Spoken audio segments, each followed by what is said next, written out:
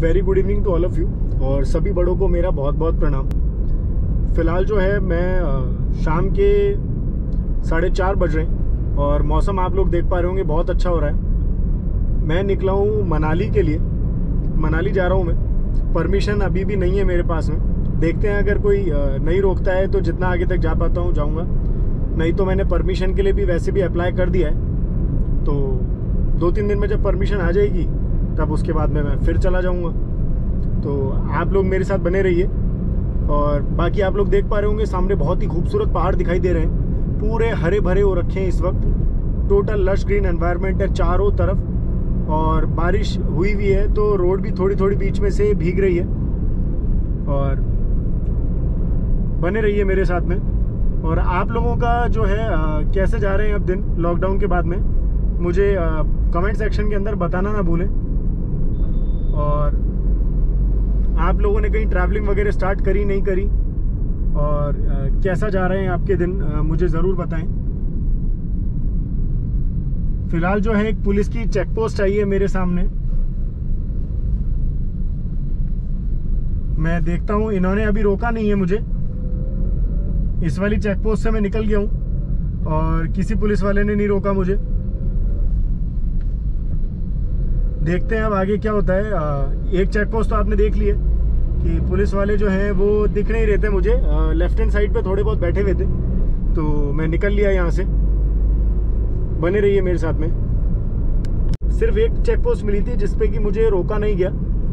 तो अभी तक तो सब बढ़िया चल रहा है और आप लोग देख पा रहे होंगे बढ़िया बादल हो रहे हैं। बट अभी फिर भी क्लियर स्काई एकदम। साफ़ दिखाई दे रहा है जो मौसम है। और कुछ लोग साइकिलिंग भी कर रहे हैं, आप लोगों को दिखाई दे रहे होंगे।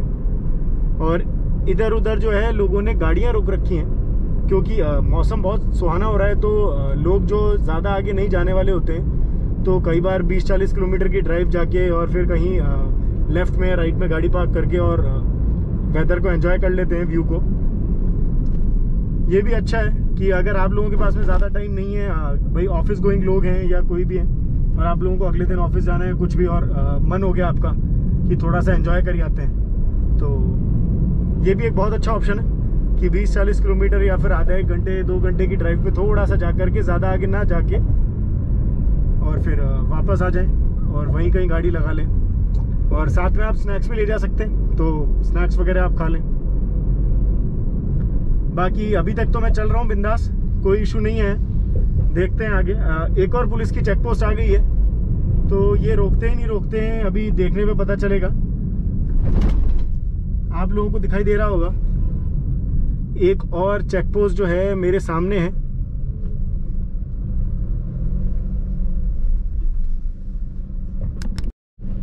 फ़िलहाल पुलिस वालों ने रोक लिया है मुझे। और देखते हैं आ, क्या बोलते हैं पुलिस वाले? इन्होंने रोका है मुझे चेक पोस्ट पे। हाँ जी, सर। पास नहीं है। नहीं जा सकते। वापस लो गाड़ी।